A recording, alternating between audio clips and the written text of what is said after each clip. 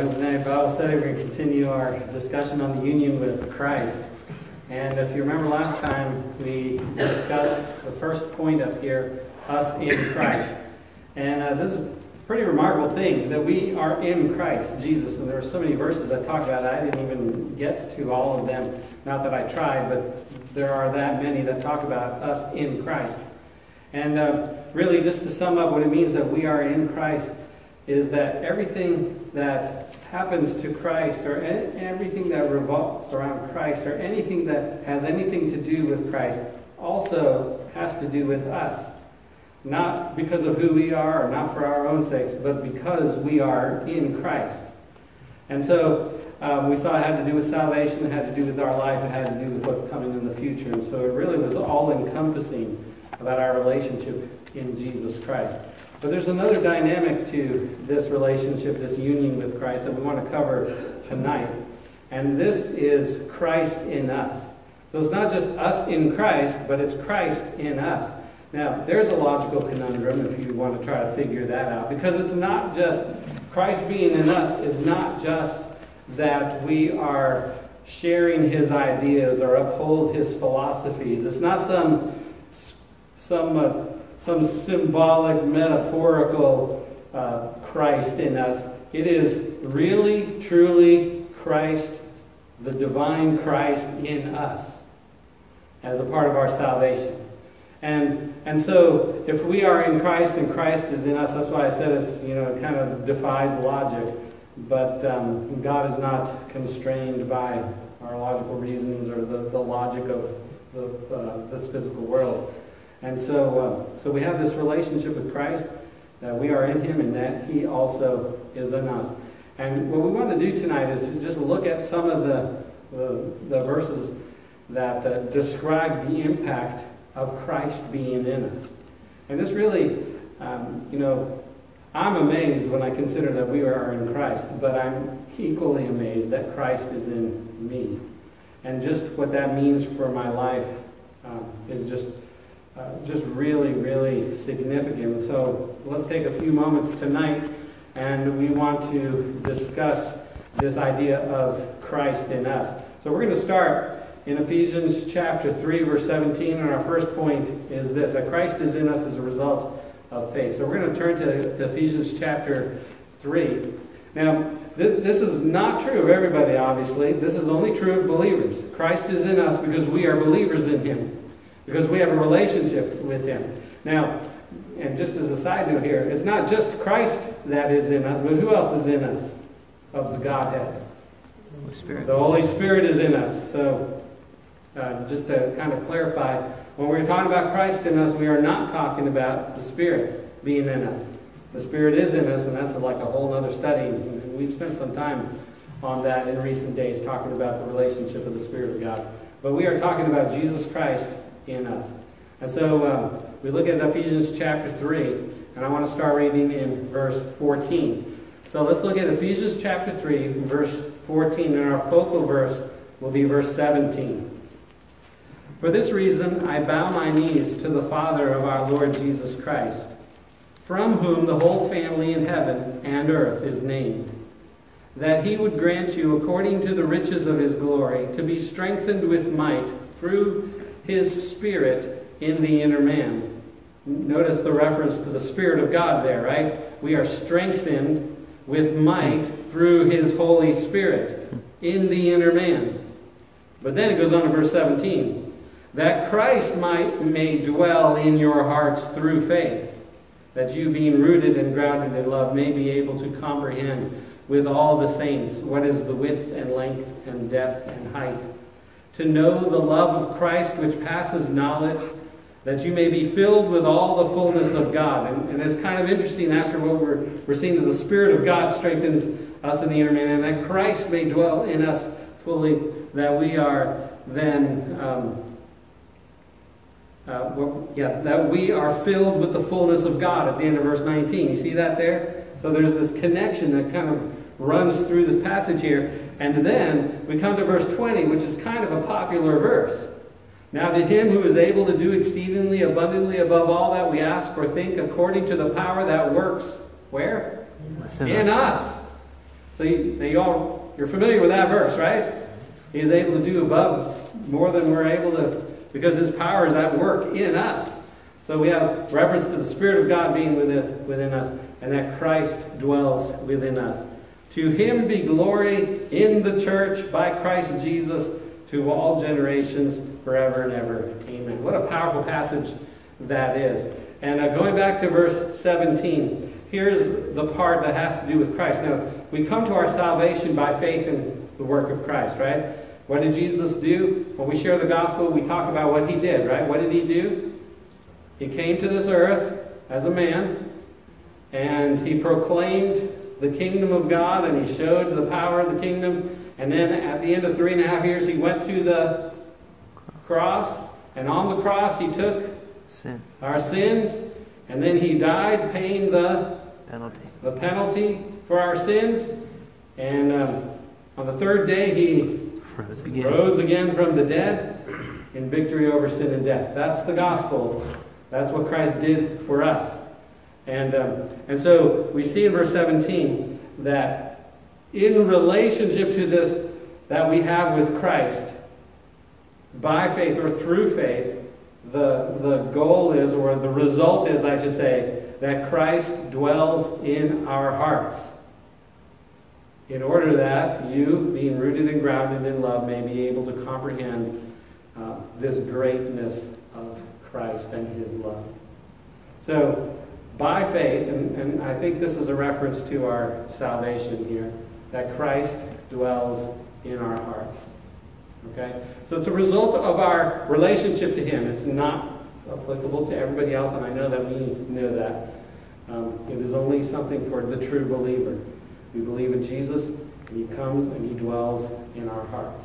All right? So it's uh, the result of faith, that Christ is in us. It's the result of our faith and our belief in Jesus Christ. So that's, a, that's the first part. But the fact that He would come and dwell in our hearts, and that some of these things that are are uh, said in this passage would be true is um, an incredible place to begin. Let's turn to another passage, and this brings us to our second point here that Christ in us is a proof of our relationship with Him. Christ in us, that He is there and present, that is a proof that we have a relationship with Him. Now, now this is just kind of um, obvious, right? If I don't have a relationship with Him, He's not going to be in me, right? But if I do have a relationship, then He ought to be there in me. And so that's what we're going to see. In first, uh, 2 Corinthians chapter 13, 2 Corinthians chapter 13.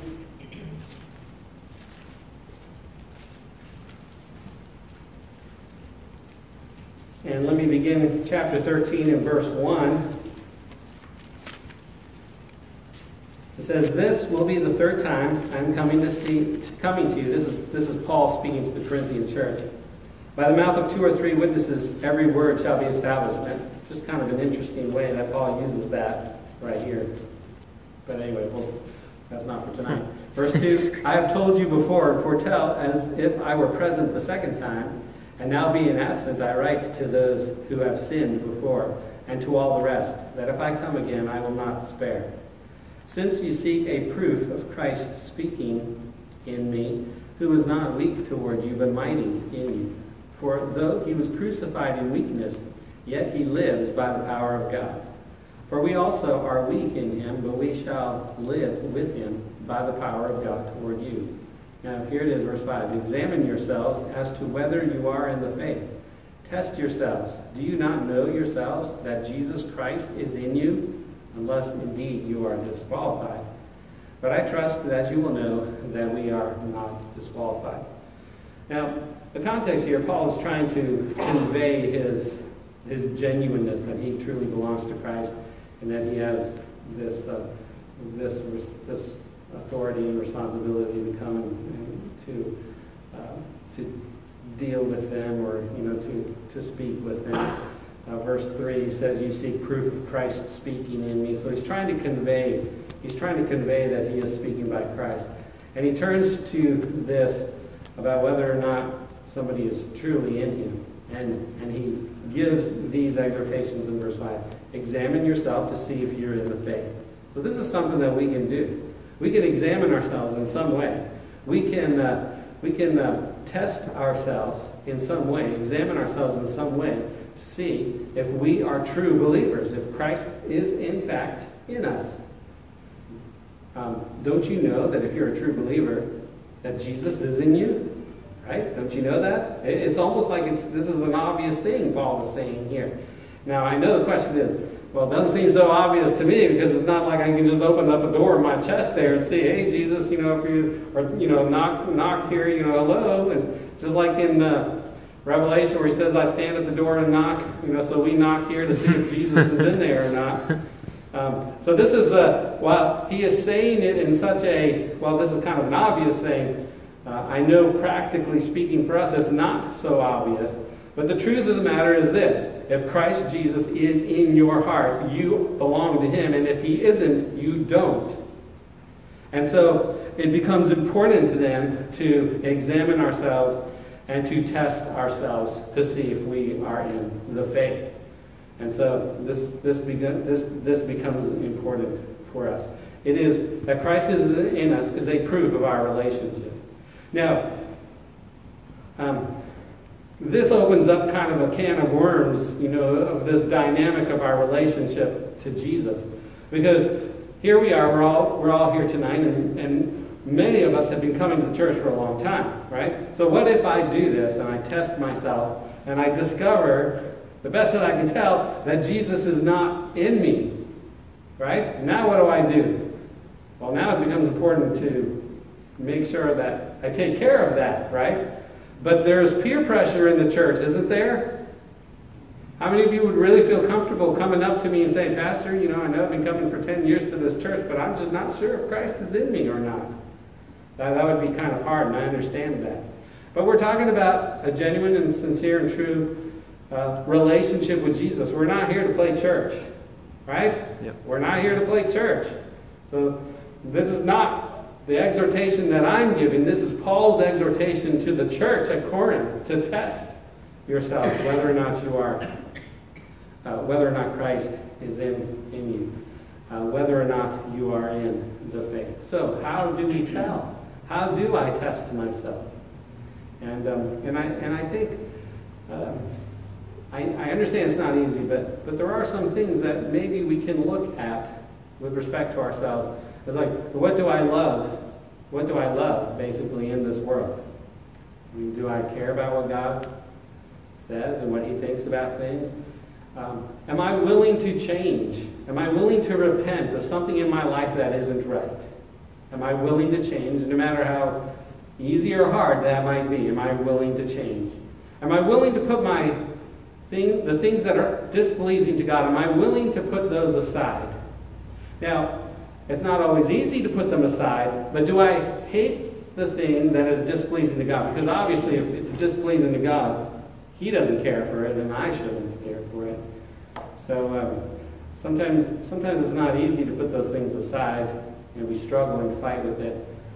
But are we trying to? You know what I mean? Uh, are we trying to put them aside? Are we trying to make the change? Are we, are we repenting? Do we love the things that God loves? And what are some of those things that God loves? Do We love the things that God loves. What are some of those things that God loves? Patience. Okay, patience. Some of those, some of those uh, fruits of the Spirit. Obviously, He wants to see in us. What else does He love? His word. He loves His Word. He has given it to us. Yes, our obedience is important to Him. Fellow fellow man, my neighbors, Okay, my one another. Christians. Actually, I'm going to be talking about that on Sunday mornings. Did you know in the New Testament there are a lot of one another statements? You, you've heard, have you heard? Has anybody ever heard that before? Anybody go through those one another statements? I'm going to take some time to uh, to do that, and the reason is because um, our Christianity is really about other people. So we have a responsibility, of, you know, towards others. God loves us, and we ought to love us too, right? Okay, what else does God love? Okay, cheerful givers. God loveth the cheerful giver. All right, Tyson, say that louder. What was that? Humility. All right, good. So uh, we have an idea of the things that God loves. So uh, God loves truth, and God loves love, and God loves you know all of these things. uh, our kindness and gentleness and compassion. God loves uh, joy. These things belong to God. He loves these things. What are some things that God hates? And then we can say sin, but uh, pride, somebody said pride. What? Lust. Yeah, selfishness, selfishness, idols, anything that we put up and that takes the place of Christ. The what? Yes, hypocrisy. God hates hypocrisy. So there are these things that God loves, and we ought to love the same things He loves. There are things that God hates, and we ought to hate the things that God hates. So that becomes a that becomes sort of a litmus test of our heart, and and uh, we can judge a little bit, you know, by looking at one another because we can see the fruits of our uh, relationship to Him, or you know, there should be some fruit visible uh, to one another, especially as we're working and ministering to one another. Um, but but at the end of the day, you know, it's really what's going on in your heart and what's your relationship, because there are things that we love that are in our heart that nobody knows about. There are those secret things that we all have that other people just don't know because they can't see and and we can keep them quiet. And, and um, so, so what is it that's going on in your heart? How is your relationship to Christ? Test yourself. Read the Word of God and, and uh, take the things that it says and, and uh, let it shine in your heart to expose the things that are not uh, pleasing to Him and the things that are pleasing to Him. Do you have secret closets that are full of skeletons? You know, those kinds of things. So we need to examine ourselves uh, because coming back, that Christ is in us. If he is in us, we belong to him. And if he is not in us, we don't belong to him. And it doesn't matter how often we read the Bible or how often we pray, how often we go to church. If Christ is not in us, we are not his. If he is in us, then we are his. And so let us test ourselves. All right, the third, the third uh, point here of Christ in us. And, and this is kind of an exciting one the ability to live right. And let's turn to Galatians chapter 2 for this one. As you can imagine, um, when Jesus comes and takes residence in our heart, he doesn't, he doesn't just sit in the easy chair and kick up his legs and you know, take a snoozer there all day long. He is active at work, right? And so, uh, so this becomes an important one. And especially in the struggle that we have in this life. Because even though Christ has come into my life, I still have this flesh, right? And the flesh tends to keep going in the wrong direction, and, and we have to keep on, you know, reining it in. Um, Paul says, I beat my body into subjection daily that I might not be disqualified. That's a pretty sober verse there. And, uh, and so there's still this tension between the, the pull of the flesh and the direction of the and the leading of the Holy Spirit. And so we uh, we go through this life and there's kind of a battle. I mean, the Bible talks about three or four different kinds of wars that we are in because of our our Christianity. So we fight. We're at war with the evil spirits around us, right? The devil and his minions.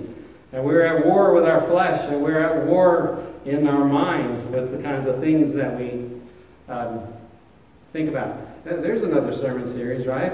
The War of the Christian Life. Kevin? Have you ever read The Pilgrim's Progress? I have. We're going to show it. They're coming out with a new. Um... I just watched a musical on it. Oh, it's a musical. I haven't seen that one. yeah. yeah, so uh, um, we're going to be showing The Pilgrim's Progress when it comes out on DVD. We're going to rent it, or I think they had a free live stream uh, but it's an hour and 45 minutes, so we decided that we would wait until it came out and then maybe split it between three, uh, over a three-week period. But uh, if you've never read The Pilgrim's Progress, it's a classic. It was written by John Bunyan in the, the 13th century, I think. So it's it's stayed around for quite some time, and, it's a, an allegory of the Christian life. So he, he kind of he kind of fleshes out some of the the struggles and, and uh, what being a Christian is all about. So, uh, Galatians chapter 2, our key verse will be verse 20. Let me start reading in verse uh, 15. We who are Jews by nature and not sinners of the Gentiles, knowing that a man is not justified by the works of the law, but by faith in Jesus Christ. Even we have believed in Christ Jesus that we might be justified by faith in Christ and not by the works of the law. For by the works of the law no flesh shall be justified. So here's talking about our salvation. It is not by works of the law, it is by faith in Christ, right? Okay. So verse 17, but if we, while we seek to be justified by Christ, we are uh, we ourselves also are found sinners. Is Christ therefore a minister of sin? Certainly not. For if I build again those things which I destroyed, I make myself a transgressor. For I through the law died to the law, that I might live to God. And here's our verse I have been crucified with Christ. It is no longer I who live, but Christ lives in me. And the life which I now live in the flesh, I live by faith in the Son of God who loved me and gave himself for me. I do not set aside the grace of God, for if righteousness comes through the law, then Christ died in vain. Now, when it says, I, it is no longer I who live, but Christ lives in me, it's not talking about Christ taking residence in me, which is what we're talking about. It's talking about Christ being the active motivator of my life. In other words, I live the things that I do in my life, I do by Christ. He is behind it all. And so, so this, I mean, this whole passage is about not, uh, not trying to be justified or to, to earn brownie points with God by keeping the law. It is by faith in Christ. Yet, the fact that He is in me uh, does impact how I live. So I'm living not to be saved, I'm living to please God, if I can say it that way. Right? And so I live a righteous life by faith in order to live for God the way that I should. And He is the one who strengthens me to do it. I live by Christ, or, or um, Christ lives in me. And what I now live in the flesh, I live by faith in the Son of God. So He is the one who, who uh, gives me the power to do it. So here is, now I've shared this illustration before, but I read John Owen on the mortification of, of the flesh. And I, I, think it wasn't too long ago that I shared this. But um, let me do it again. Um, I was I went to that book, and he wrote in the 16th century He was one of kind of the Puritan, one of the Puritan writers, and I was expecting, you know, the practical steps how to overcome sin in our lives, because that's a this is that's a real that's a real important issue, right? Because you know, as a pastor, we're, I, we're all dealing with it in the church. So how do I help the people? And um, the thing that stood out the most was that uh, he said he would. So believe it. It is by faith. You want to overcome? It is by faith by faith in Christ, that he will give you the power. He said he'd give you the power, so do we believe it now? And am I going to live by that faith in him? So that was like, whoa, you know, ding. You know, I, I can I can come up with 10 steps for overcoming sin, but unless Christ is doing it, I'm not going to be successful in it. And so there's an element of faith in which I allow Him to empower me to live right because I can't do it any better than before I was saved without His help. I require His help now, just as much as ever, because this flesh just cannot do it. I need Him to do it. And He is there to do it for us. That's the good news about it. He is there, and there's you don't have to fill out an application, and you don't have to you know make sure you're qualified first. If you are a believer, He's present in your life. He lives in there, in, in you, and Him, He uh, gives you the strength to live the life that He wants you to live. Praise the Lord. So now we have to uh, trust that He will do that through me instead of fighting to try to do it myself. And learning that is a spiritual, mature, uh, it's a spiritual maturity thing. Like how far along are we in our Christian walk? How how much have we learned about Christ and following Him and yielding to the Spirit and allowing Him to work through our lives? Where are we in that? And again, it doesn't matter how long you've been in church and all of these things. Um, Have, have we grown in our faith? That's what matters. Sometimes you, sometimes a person becomes a Christian and they grow really fast in their trust and faith in the Lord. Other times, somebody accepts Christ and it just takes a whole long time and they don't really make any progress anywhere. And there's no judgment one way or the other. It's uh, the question is put to us right here, right now, as it is every day. Are we learning to trust Him more?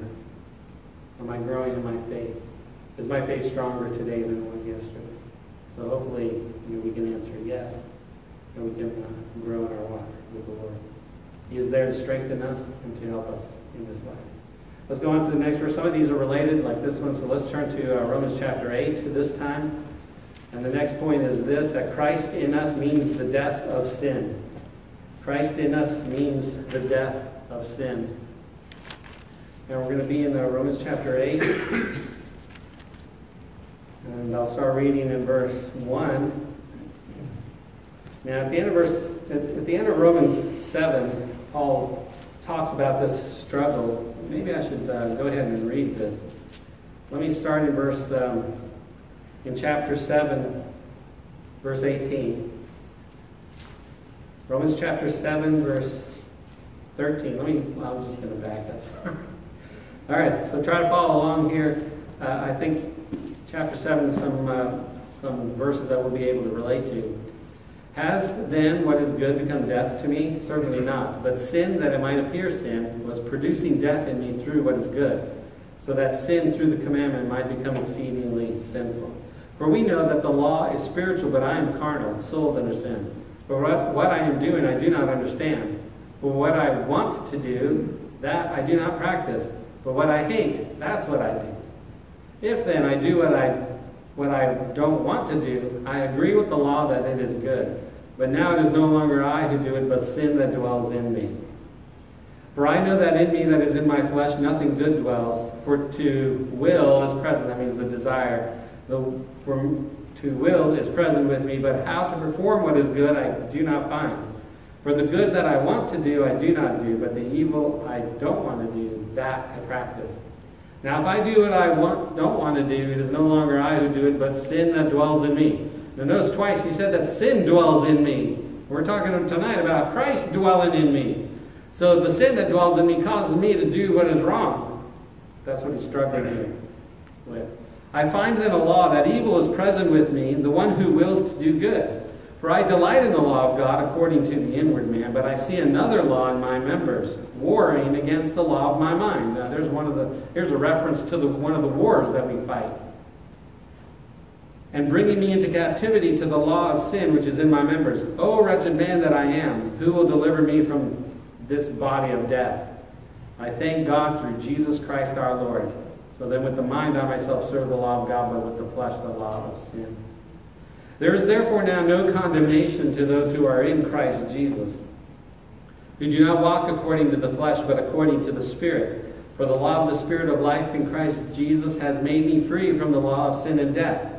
For what the law could not do, in that it was weak through the flesh, God did by sending his own Son in the likeness of sinful flesh on account of sin. He condemned sin in the flesh, that the righteous requirement of the law might be fulfilled in us who do not walk according to the flesh, but according to the Spirit. For those who live according to the flesh set their minds on the things of the flesh, but those who live according to the Spirit, the things of the Spirit. For to be carnally minded is death, but to be spiritually minded is life and peace. Because the carnal mind is enmity against God, for it is not subject to the law of God, nor indeed can be. So then those who are in the flesh cannot please God. But you are not in the flesh, but in the Spirit, if indeed the Spirit of God dwells in you. Now, if anyone does not have the Spirit of Christ, he is not his. And if Christ is in you, the body is dead because of sin, but the Spirit is life because of righteousness. But if the Spirit of him who raised Jesus from the dead dwells in you, he who raised Christ from the dead will also give your life to your mortal bodies through his Spirit who dwells in you. All right, so that was a pretty long passage there, and a lot of uh, deep stuff in this in this passage. But it talks about sin being in you, and then when he comes to chapter 8, there's the good news. He talks about the Spirit of God being in us, and then he talks about Christ being in us. Verse 10 If Christ is in you, the body is dead because of sin, but the Spirit is life because of righteousness. And so Christ being in me means that there is the death of this sinful flesh that keeps taking me away from God, and there is life that comes by the Spirit of God. And so uh, we see the death of, of, uh, of this because of the presence of Christ in our life. All right, so that was a, that was a heavy hitting passage there, but an important one. Um, the Spirit of God is in us, Christ is in us, we are free from sin. And that's what's important for us. And so it becomes important that in our lives we reflect that. That we trust in His work through us to accomplish what He puts before us to do. So let's turn to John chapter 15 now. And our next point is that Christ in us results in fruit.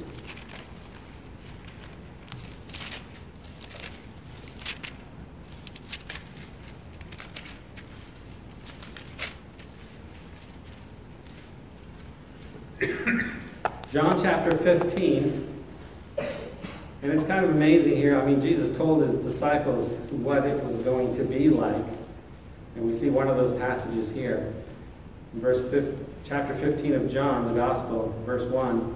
I am the true vine, and my Father is the vine dresser. Every branch in me that does not bear fruit, he takes away. And every branch that bears fruit, he prunes it. He prunes, that it may bear more fruit. You are, are, you are already clean because of the words which I have spoken to you. Abide in me, and I in you. Now, now there's uh, there we have both the relationship. You see that? Abide in me, that's us in Christ, and uh, I in you, Christ in us. You, he puts them both right there in one, one uh, simple sentence.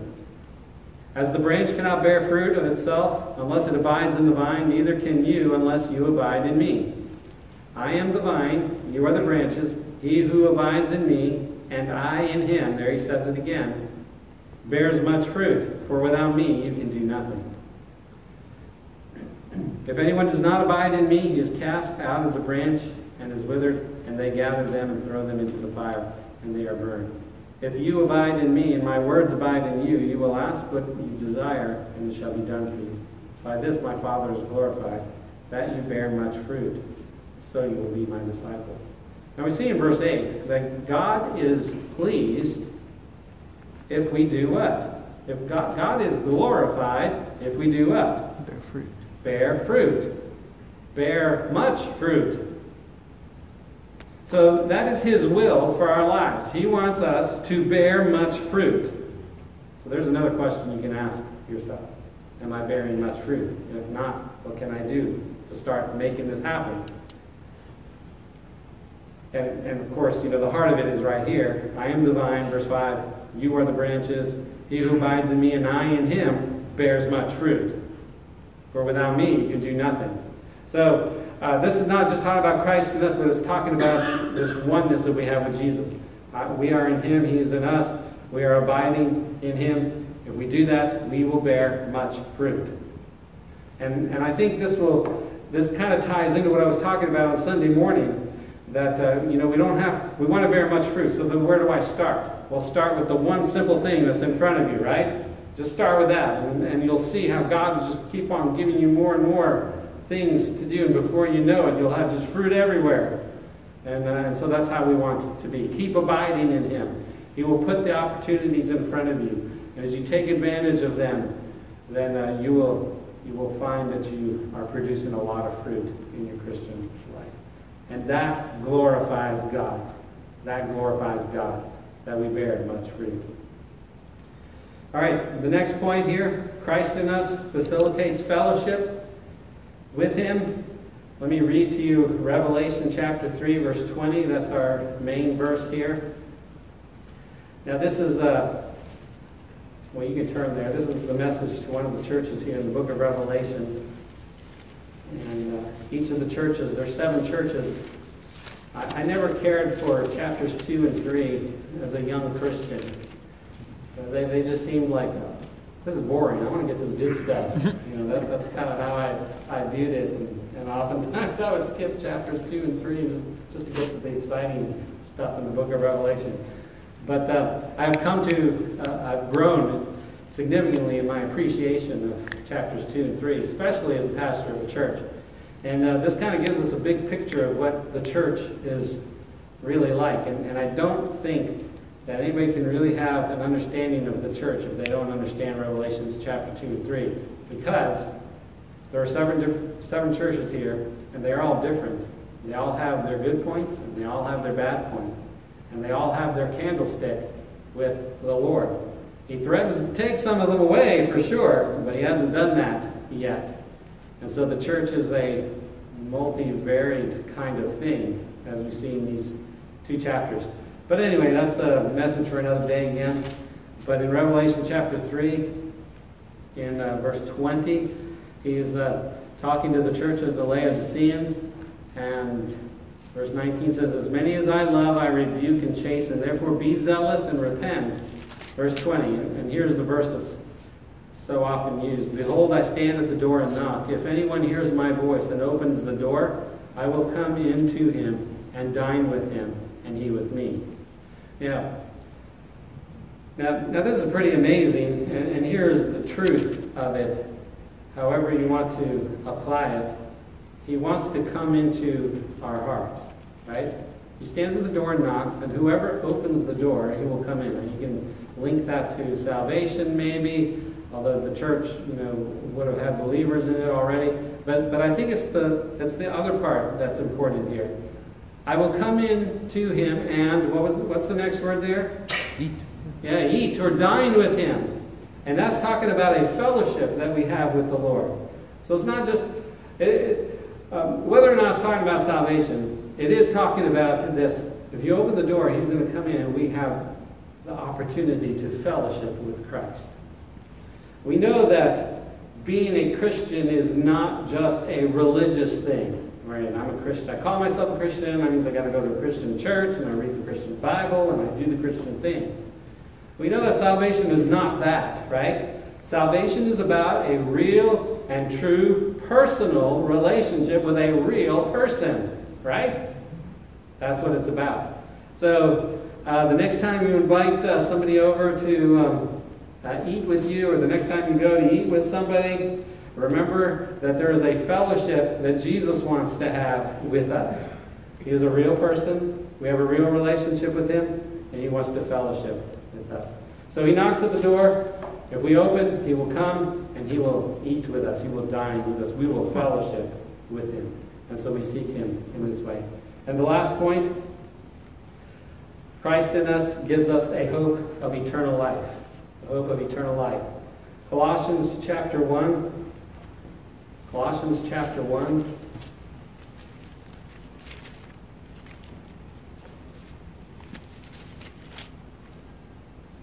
Verse 24.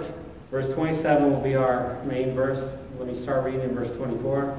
I now rejoice in my sufferings for you, and fill up in my flesh what is lacking in the afflictions of Christ, for the sake of his body, which is the church, of which I have become a minister according to the stewardship from God, which was given to me for you to fulfill the word of God, the mystery which has been hidden from ages and from generations, but now has been revealed to his saints. Verse 27. To them God willed to make known what are the riches of the glory of this mystery among the Gentiles, which is, now here's the mystery that has been hidden from the past, but has now been revealed. Christ in you, the hope of glory. Hmm. Him we preach, warning every man and teaching every man in all wisdom, that we may present every man perfect in Christ Jesus.